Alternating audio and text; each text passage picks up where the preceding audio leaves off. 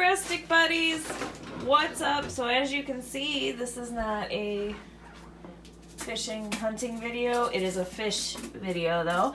It's been a hot second since we've done a cooking video. So we're gonna do a Will it Walleye episode. We found a recipe we're gonna try out for what is this? Honey coated honey coated fried walleye. Here is everything you need. Ritz crackers, oil, egg, honey, and of course we have some uh, Lake St. Clair walleye. So we're going to test this recipe out and see if in fact it does walleye. okay, so I put some Ritz in the bag, crushed them all up. That's going to be our breading. And then we noticed the recipe didn't give a specific measurement for honey, so my honey over here just dumped a whole bunch in here. I just squirted a whole ton in there. So you're gonna put the honey with the egg.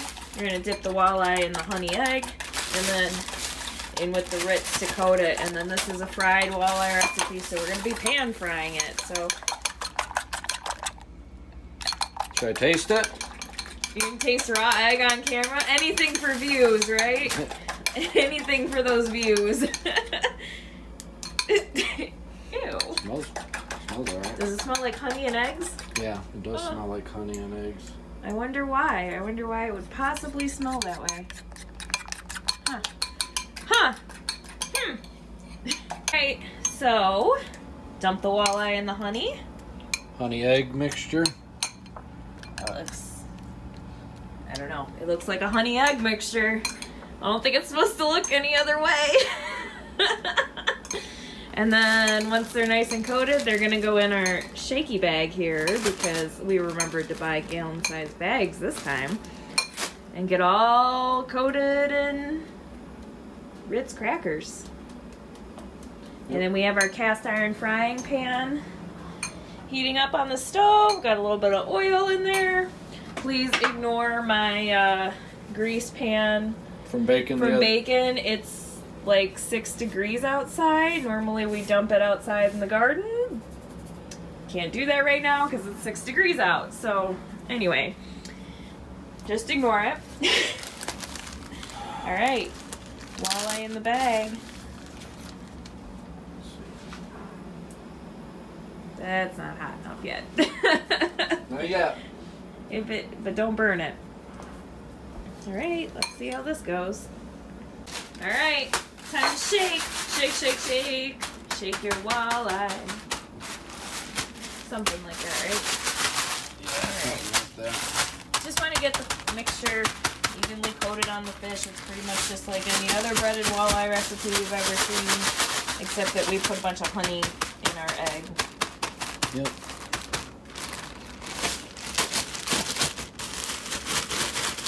And then you're gonna shake it up. Get it all super coated. Yep. And once our oil's hot enough, it's gonna go into the pan. And we're gonna serve this with, I have onion rings and coleslaw to serve this with because it's six degrees outside, but we want a nice fish fry to make us think of summer and all the warm times. Okay. That's pretty good. Push some of that into it. They look like little walleye chunks, little breaded walleye chunks. We'll see. Hey, look at that. Into the fryer they go to get golden, crispy brown.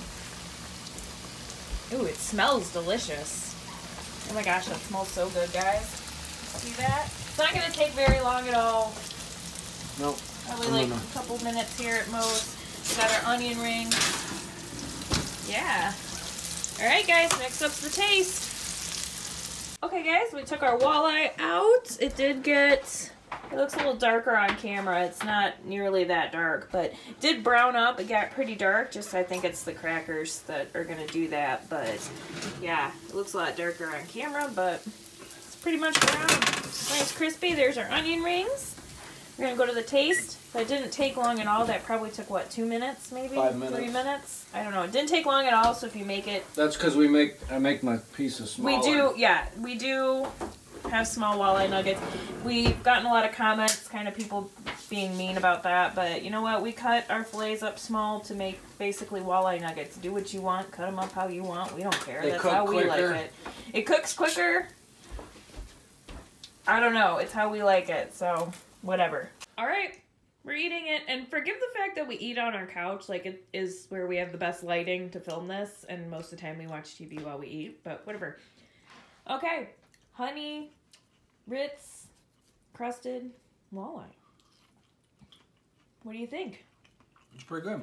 I tried it. I thought it was pretty good. Tastes kind of similar to the. Now you're just gonna watch Kurt eat coleslaw. Hey, I'm eating food.